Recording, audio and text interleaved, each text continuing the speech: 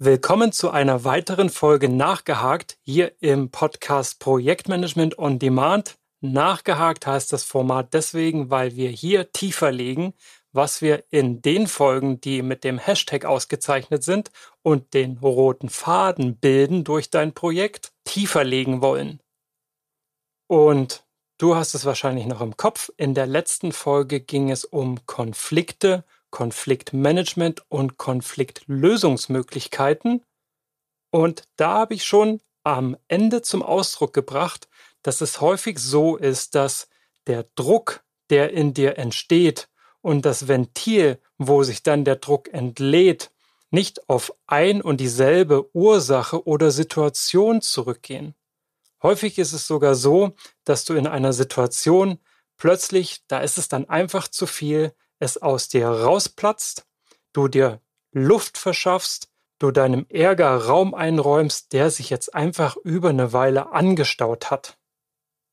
Und damit das nicht zum Automatismus wird, dass also nicht der nächstbeliebige Trigger dazu führt, dass du es einfach nicht mehr aushalten kannst und rausplatzt und dann womöglich Leute verletzt, die dir wichtig sind oder Stakeholder in deinem Projekt vergraust oder hinterher die Scherben auflesen musst, um dein Team wieder gänzlich neu zu motivieren, je nachdem, was gerade passiert ist, welche Bombe geplatzt ist.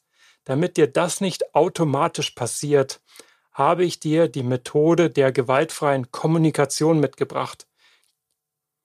Die Abkürzung GFK ist dir wahrscheinlich schon begegnet und für die gerade eben aufgegriffene Situation gibt GFK dir eine Möglichkeit, diesen Druck gewissermaßen zurückzuhalten und das Ventil langsam aufzumachen. Die Quelle des Drucks, woher dein Frust kommt, der sich da angestaut hat, das beseitigt GFK nicht. GFK ist eher gewaltfreie Kommunikation, eine Ausdrucksform und ein Eskalationsverhinderer kein Allheilmittel gegen Stress. Doch das wäre ja schon mal ein Anfang, oder? Da stimmst du mir wahrscheinlich auf jeden Fall zu. Lass uns also mal einen Überblick verschaffen. Was ist gewaltfreie Kommunikation? Wie funktioniert das? Und was kannst du daraus für dein Projekt mitnehmen? Geprägt hat den Begriff gewaltfreie Kommunikation ein US-amerikanischer Psychologe Marshall B. Rosenberg war sein Name, und zwar der zu Zeiten der Bürgerrechtsbewegung und Auflösung der Rassentrennung an Schulen gewirkt. Und er ist auch Gründer, und daher kommt der Name, des Center for Nonviolent Communication, CNVC. Den Begriff gewaltfreie Kommunikation im Speziellen hat später die UNICEF aufgegriffen und sogar ein Buchband veröffentlicht, basierend auf den Arbeiten von Rosenberg. Ziel der Methode, die Rosenberg da entwickelt hat, war es in erster Linie und ist es auch immer noch, die Kommunikation zu verbessern, Vertrauen aufzubauen und Positivität und Freude in der Kommunikation durch die Kommunikation zu vermitteln. Das zweite Ziel, und deswegen ist es so super interessant für uns, ist, dass sie zu Konfliktlösungen beitragen kann. Persönlicher Natur, beruflicher Natur, politischer Natur. Wie gelingt das der Methode? Nun, und du wirst es später sehen in dem Modell, sie baut auf auf Wertschätzung. Wertschätzende Beziehungen werden durch die Methode gefördert. Und das nützt natürlich dahingehend, dass dann eher eine Stimmung und auch Intention der Kooperation entsteht und eine Form der gemeinsamen Kreativität in der Form der Kommunikation und auch des Zusammenlebens getriggert wird. Die Grundannahme, auf der die Methode beruht, ist, dass Empathie der notwendige Schlüssel ist für erfolgreiche Kommunikation und Konfliktlösung, dass also Bedürfnisse und Gefühle des Gegenüber berücksichtigt werden, dass du aktiv zuhörst, du ihr euch ehrlich und klar ausdrückt und euch über euch selber und eure Interessen und Motive bewusst werdet. Mehr noch, eurer Gefühle bewusst werdet, du dir deiner Gefühle bewusst wirst. Es geht also auch um Selbstempathie. Wie genau gelingt jetzt das, dieser Methode gewaltfreie Kommunikation, die ja, manche stoßen sich am Namen, die auch als einfühlsame Kommunikation betitelt wird oder als Sprache des Herzens oder auch als verbindende Kommunikation, bewusste Kommunikation liest man auch manchmal. Durchsetzungsstarke Kommunikation ist auch ein Synonym und ganz witzig finde ich das Bild Giraffensprache. Warum Giraffensprache und wie ist die Giraffe irgendwie so zum Maskottchen von gewaltfreier Kommunikation geworden? Die Giraffe durch den langen Hals repräsentiert sowas wie Weitsicht und die Giraffe hat auch eines der größten Herzen im Tierreich und symbolisiert damit auch Mitgefühl und ist auch als eine Art von Antonym zur Wolfssprache zu verstehen. Wie funktioniert jetzt also gewaltfreie Kommunikation? Wie funktioniert die Giraffensprache? Nun, dafür gibt's ein ganz einfaches Schemata. Schnapp dir gerne wieder Zettel und Stift, denn was du nur brauchst, ist eine 2x2 Matrix, also ein Strich senkrecht und einer, der die Senkrechte in der Mitte waagerecht teilt. Das Formulierungsschemata, das Grundmodell von GFK, folgt einem Leitsatz, der da geht, wenn ich A sehe, dann fühle ich B, weil ich C brauche und deshalb möchte ich jetzt gerne D. A ist also deine Beobachtung, kannst du gerne oben links in die Box schreiben. B ist dein Gefühl, was du aufgrund dieser Beobachtung hast. C ist dein Bedürfnis, welches hinter diesem Gefühl steht. Und D ist die Bitte oder der Wunsch nach etwas, das deinem Bedürfnis nachkommt. Und der Wunsch oder die Bitte sind immer auf die Zukunft zu formulieren oder haben wenigstens einen Bezug zur unmittelbaren Gegenwart, sind allerdings nie als Vorwurf auf die Vergangenheit zu formulieren. Gehen wir mal gemeinsam ein Beispiel durch. Wenn du beobachtest, wenn du jetzt wieder ins Büro gehst, nach und nach ist das ja wieder möglich, du gehst wieder ins Büro und du beobachtest, hey, wir geben uns irgendwie nicht mehr die Hände. Früher war das ganz normal, teilweise sind wir uns auch noch näher gekommen, Bussi rechts, Bussi links, nichts mehr. Nicht mal die Hand wird geschüttet aus der Entfernung, irgendwie, ja, so vage wird uns dazu gewunken, aber so richtige Nähe entsteht nicht mehr. Und ähm, ja, da sind wir schon beim Gefühl. Und wa was macht das mit dir? Ähm, mit mir, mir ist das auch aufgefallen, gerade bei Freunden und vor allen Dingen immer dann, wenn ich im Affekt jemanden getroffen habe, den ich vor Corona das letzte Mal gesehen habe, dass ich einfach ihm die Hand gebe oder noch näher komme und wir uns umarmen und ich mir dann später denke, huch, huch, huch, war das jetzt gut und richtig? Okay, ja, wir sind beide geimpft, aber trotzdem. Genau, also das Gefühl, was jetzt entsteht, ist in meinem Fall jetzt eins der nachträglichen Unsicherheit gewesen, aber wir gehen auf das Beispiel, wo du feststellst, hey, mh, hm, irgendwie kommen wir uns nicht mehr so nah wie früher. Das Gefühl könnte sein, hm, ist wirklich alles gut? Also eine Art der Verunsicherung. Du könntest genauso gut enttäuscht sein, weil du dir das irgendwie anders vorgestellt hast, dieses Back to the New Normal. Du könntest ernüchtert sein oder dich irgendwie gehemmt fühlen oder sogar gekränkt. Du könntest plötzlich so enteuphorisiert sein und verfällst auf einmal eher in so eine pessimistische Gefühlslage. Du könntest irritiert sein dahingehend, hey, sind die anderen jetzt scheu? Ist was mit mir nicht? Also wahrscheinlich macht das mit jedem von uns ein bisschen was anders. Andere könnte es sogar richtig gehend verbittern oder verletzen oder verstören, verunsichern, verwirren oder mit einem Gefühl des Zwiespalts zurücklassen. Alles auf jeden Fall nicht wirklich angenehm. Das sind jetzt also deine Gefühle. Das könnten deine Gefühle sein. Ich will dir da nichts unterstellen. Und jetzt besagte ja der Satz, den ich vorhin bemüht habe, wenn ich A sehe, dann fühle ich B, weil ich C brauche. Und vielleicht brauchst du die Nähe, weil du hast die echt vermisst.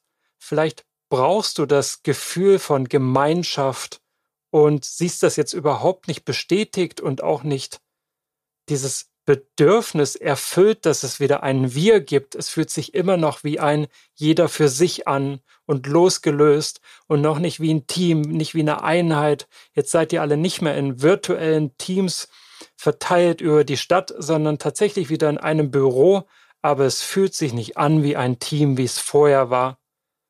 Das Gefüge scheint zerrüttet. Und jetzt ist die Frage, welche Bitte, welchen Wunsch leitest du daraus ab? Das könnte der Wunsch sein, das einfach mal offen mit dem Team zu thematisieren. Hey, geht es euch auch so? Oder wie seht ihr das eigentlich? Wie geht's jetzt euch damit? Und du richtest an dein Team die Bitte, hey, lasst uns mal Zeit nehmen, darüber zu sprechen, das zum Thema zu machen. Oder ich will mindestens mal meine Gefühlslage und meine nicht erfüllten Bedürfnisse mit euch teilen oder zumindest meine Beobachtung und dann mal gucken, was daraus wird. Bis hin, dass du ganz klar, offen und deutlich dir wünscht von deinem Gegenüber, hey, wenn das für dich kein Thema ist, für mich ist es in Ordnung, ähm, ich hätte es gerne wieder, dass wir uns per Handshake begrüßen. Ist das für dich auch in Ordnung? Und genau das sind die vier Stufen der gewaltfreien Kommunikation. Und wenn du in der Folge zuvor auch reingeschalten hast, dann weißt du ja, es gibt drei Arten von Konflikten. Das waren die sozialen Konflikte, also Beziehungskonflikte. Das waren strukturelle Konflikte auf der Sachebene. Und das waren innere Konflikte, hier in dem Beispiel wirst du jetzt zu Recht identifiziert haben, hey, das ist per se jetzt erstmal ein innerer Konflikt, der zu, wenn du ihn nicht ansprichst, zu einem sozialen Konflikt und dann in der Folge vielleicht auch zu einem strukturellen Konflikt führen könnte. Idealerweise bist du also bei den neun Eskalationsstufen laut Klase noch ziemlich früh im Einstieg, spürst das gut in dir und hast jetzt mit der gewaltfreien Kommunikation nach Rosenberg ein Mittel an der Hand, wie du aus dieser Beobachtung über das Gefühl und das nicht erfüllte Bedürfnis zu einem Wunsch, zu einer Bitte, zu einer echten Alternative zur Beobachtung heute, wie die Dinge laufen, kommen kannst, um dem Konflikt lösend entgegenzuwirken. Probier diese Methode gerne mal für verschiedene Situationen und Konflikte aus. Und wenn du jetzt die Matrix vor dir, diese 2x2 Felder Matrix vor dir hast, in der Beobachtung, Gefühl, Bedürfnis und Bitte oder Wunsch stehen, einfach mal mit ins Projekt nimmst, dir irgendwo hinpinnst und regelmäßig überprüfst, hey, überspringst du vielleicht, wenn es in Konflikte reingeht, nicht die ein oder andere Stufe hier. Also beziehst du dich in deinen Worten, deiner Darstellung, deiner Kritik wirklich auf eine Beobachtung oder nur auf ein Gefühl? Wenn ja, bringst du das Gefühl überhaupt richtig zum Ausdruck oder bist du auch da drüber gesprungen und dir geht es eigentlich nur um ein Bedürfnis und dem Luft zu machen, was vielleicht dann aber die Gegenpartei gar nicht nachvollziehen kann, weil sie, hey, die Beobachtung nicht teilen oder das Gefühl überhaupt nicht verstehen, was da jetzt Antreiber für dein Bedürfnis ist. Und dann natürlich, egal womit du kommst, mit welchem Vorschlag, welchem Bitten, welchen Wünschen, das einfach nicht nachvollziehen und schon gar nicht umsetzen können. Also beobachte das gerne mal. Das ist im Kern die Methode der gewaltfreien Kommunikation, wo natürlich ganz viele Nuancen und Facetten drumherum sind, ist das eine der einfachsten Möglichkeiten, relativ schnell von dieser Methode zu profitieren und einer etwaigen Konflikteskalation entgegenzuwirken. Beeinflusst wurde Rosenberg von zwei recht großen Persönlichkeiten. Das eine ist Carl Rogers, ein humanistischer Psychologe, und Mahatma Gandhi, der ja Gewaltfreiheit postuliert hat, die er auch aus dem Hinduismus und Buddhismus sehr gut selber kannte. Also die Einflüsse auf Rosenberg und sein Wirken und auch diese Methode sind keinesfalls etwas supermodernes, sondern nur ein Muster, eine Konkretisierung von Verhaltensweisen und Konfliktlösungsstrategien, die auch in der Vergangenheit sich schon bewährt haben. Anwendungsbereiche sind neben beispielsweise deinem Projekt und der Arbeit in Unternehmen sicherlich auch die Arbeit in Bildungseinrichtungen, in der Mediation, in Trainings, in Coachings, in der Diplomatie, in Verhandlungen, in Beratungen, in der Therapie, im Beziehungsmanagement. Also das ist eine Methode, die du auf jeden Fall auch in anderen Lebensbereichen zum Einsatz bringen kannst und sehr schön meine Intention unterstreicht, dass du in diesem Podcast auch etwas fürs Leben lernst und nicht nur für deine Projekte. Reflektieren wir noch ganz flott zum Thema Grenzen dieser Methode. Sicherlich wird es sehr, sehr knifflig, wenn du in deinem Konflikt herausfindest, hm, über Gefühle zu sprechen, na, nee, also das will ich nicht oder das wollen die anderen nicht und das ist eher so eine Art Angstauslöser, dann wird es knifflig, weil diese Stufe zu überspringen sorgt eher für Missverständnisse. Es benötigt also absolut inneren Mut und auch eine gewisse innere Größe und Haltung, sich da nahbar, verletzbar zu machen und zu öffnen. Und zwar gerade, jetzt wirst du sagen, ja, in einigen Lebensbereichen ist das vollkommen okay, im Business wird es halt knifflig. So nah stehen wir uns einfach nicht. Da weiß ich gar nicht so genau manchmal auch, ja, was das für Gefühle sein sollen. Da ist ja eher alles rational und tendenziell ein bisschen unterkühlt und geht ja eher auch um Macht und Einfluss und ich habe doch da eine Rolle und da muss ich mich auch in gewisser Weise fügen. Da geht's ja gar nicht um meine Gefühle. Das kann auf jeden Fall ein Hemmnis sein, sich da zu öffnen und diese Methode erfolgreich zur Anwendung zu bringen. Und es braucht auch sehr häufig eine ganze Weile, bis man selber dahinter gekommen ist, was ist denn das jetzt für ein Gefühl? Und ist das auch ein echtes Gefühl oder wird das nur von außen rangetragen und ich wurde jetzt enttäuscht versus ich bin enttäuscht. Also du siehst, manchmal ist das auch mit der Gefühlswelt, manchmal ist gut, gar nicht so einfach. Und dann haben wir ja noch das Thema, ja, vielleicht ist die Beobachtung, in der meine Emotionen, meine Gefühle jetzt zutage treten und ich mit Druck machen möchte und ich GFK einsetze, damit es nicht eskaliert, noch gar nicht die Lösung meines Problems. Und da sind wir wieder am Anfang dieses Podcasts. Da lohnt es sich zu trennen zwischen, wo kommt denn eigentlich dieser Druck her? Und wie kann ich es vermeiden, dass er an ungewünschten Stellen, in ungewünschten Situationen und zu unpassenden Gelegenheiten sich Bahn bricht. Und deswegen ist die gewaltfreie Kommunikation sicherlich ein sehr tolles Vehikel, um Konflikteskalation nicht weiter zu befeuern und auch Du hast die neuen Stufen im vorangegangenen Podcast gehört, mal eine Stufe zurückzukommen, wieder auf eine Ebene, auf der eine Intervention leichter gelingen kann. So viel zur Einordnung der gewaltfreien Kommunikation. Jetzt hast du auf jeden Fall eine konkrete Methode an der Hand, um Konflikteskalation entgegenzuwirken. Und ich würde sagen, dabei wünsche ich dir jetzt ganz viel Spaß Lass mich gerne wissen, ob es funktioniert oder du weiterführende Fragen zum Thema Konfliktmanagement hast. Wir gehen nämlich dann dem roten Faden folgend hier im Podcast weiter zum drittletzten Erfolgsfaktor in der Umsetzung deines Projektes, nämlich dem Thema Führung. Wir wollen das Thema Führung gemeinsam einen Ticken tiefer legen. Es gab ja schon mal, wenn du dich zurückerinnerst, eine Folge, nämlich die Folge Nummer 8 zum Thema situationsgerechtes Führen. Das Thema würde ich gerne, weil es so relevant ist, mit dir noch ein Stückchen tiefer legen und dir weitere Führungsstile und Führungsmöglichkeiten mit an die Hand geben, die dir helfen, dein Team zusammenzuhalten, zu motivieren und gemeinsam das Projektziel auch stringent zu verfolgen. An der Stelle für jetzt recht herzlichen Dank fürs Zuhören, Einschalten und deine Aufmerksamkeit. Viel Spaß beim Ausprobieren und Konflikte entschärfen und damit auf zur Brillanz.